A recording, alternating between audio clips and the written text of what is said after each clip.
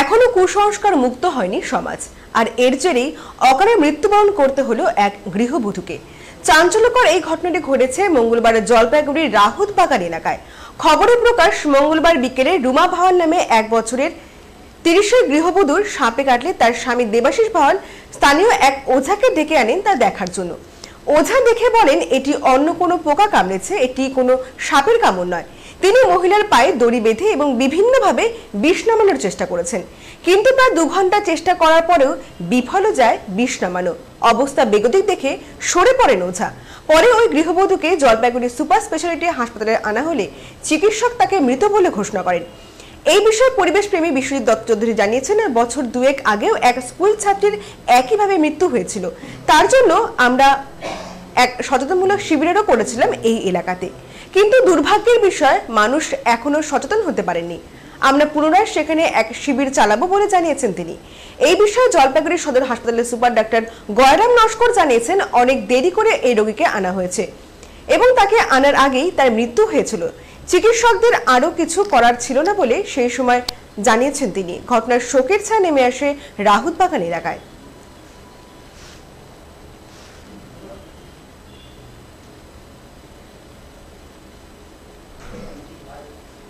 কি জানিয়েছেন পরিবেশ প্রেমিক বিশ্বজিৎ দত্ত চৌধুরী? শুনব।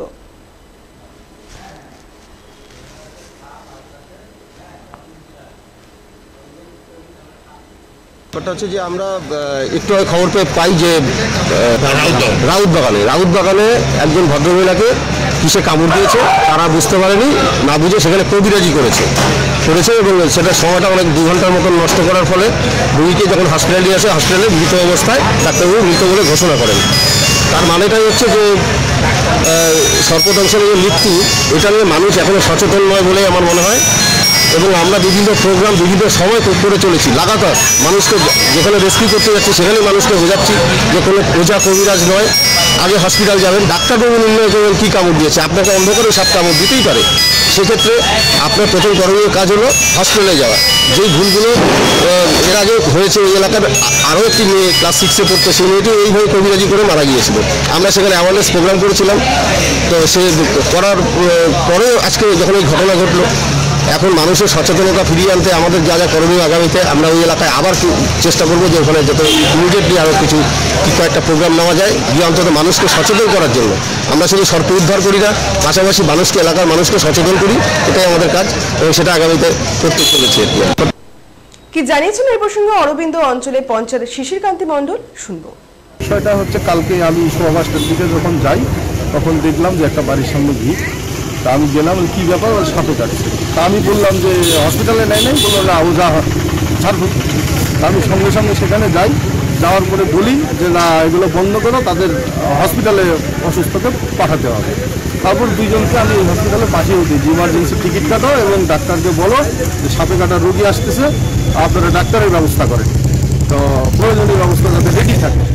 তারপরে তো দেরি হয়, এখানে পৌঁছাতে পৌঁছাতে তো তখন আসার পরে ডাক্তার তো বলে যে রোগী মারা গেছে।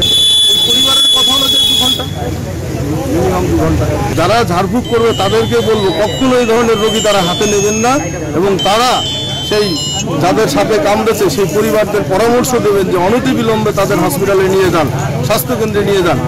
আর আমরাও গ্রামবাসীকে বলব যে যদি সাপে কামড়ায় বা অনেক সময় দেখা যায় অনেক কিছু কামড়েছে, বোঝা যায় না। তথাপি তাদেরকে যত তাড়াতাড়ি সম্ভব দ্রুততার সঙ্গে হসপিটালে নিয়ে আসা, কারণ অভিজ্ঞ ডাক্তারবাবুরা, তারাই এটা দেখে বুঝতে পারবেন সাপে কামড়েছে কিনা কি ব্যাপার, এবং তারাই উপযুক্ত এবং প্রয়োজনীয় ব্যবস্থা নেবেন চিকিৎসা দিয়ে এখন যদি ভিকটিমের পরিবার যদি তার বিরুদ্ধে অভিযোগ আনে বা প্রশাসন যদি স্বতঃপ্রণোদিতভাবে কোনো অভিযুক্ত করে তবে আমরা নিশ্চয়ই গ্রামবাসী পাড়া প্রতিবেশী হিসাবে এটা সহযোগিতা করব।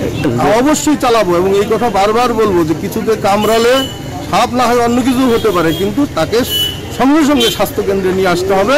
ডাক্তারবাবুরাই সেটা পরীক্ষা পর্যবেক্ষণ করে বুঝবেন যে কিছু কামড়েছে। তো এক দেড় ঘণ্টা সময় পাওয়াই গিয়েছিল। সঠিক সময় আনলে হয়তো উনি বাঁচতেও পারতেন। অন্তত চিকিৎসাটা তো পেতেন বলা যেত যে তিনি সুচিকিৎসা